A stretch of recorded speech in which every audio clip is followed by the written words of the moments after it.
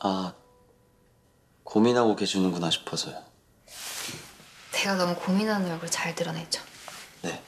근데요, 실장님은 작은 일을 고민할 때도 큰 일을 고민할 때도 똑같은 표정이세요. 그게 무슨 말이지? 어, 예를 들어 짜장 먹을까 짬뽕 먹을까 고민할 때도 수십억이 책정되는 예산안을 짜면서 고민할 때도 이 표정이 느낌. 제가 그래요? 예. 모든 고민을 차별 없이 평등하게 사랑해주는 고민 파괴주의자. 제가 차별을 싫어하긴 하는데 뭔가 이상하네 이건. 이번 고민은 뭡니까? 부하 직원 된 입장으로 제가 한 번쯤은 해결해드리고 싶습니다. 캐스팅 건이요. 전희슬 쪽에서 너무 시간을 끄네요. 난 우리 작품을 하든 안 하든 그 대답은 좀 빨리 해줬으면 좋겠어요. 다른 일을 진행할 수가 없잖아요. 그쵸. 아니 대답은 좀 빨리 해주지.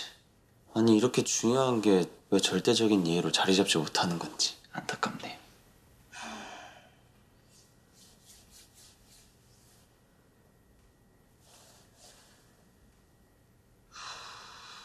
뭐예요?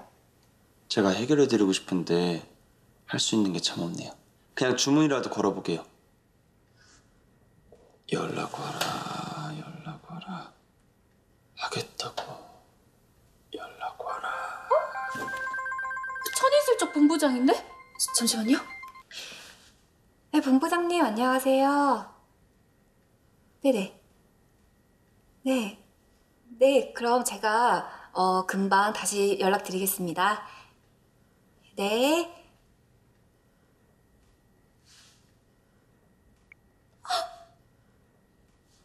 아, 예, 예. 예, 알겠습니다. 감사합니다. 네.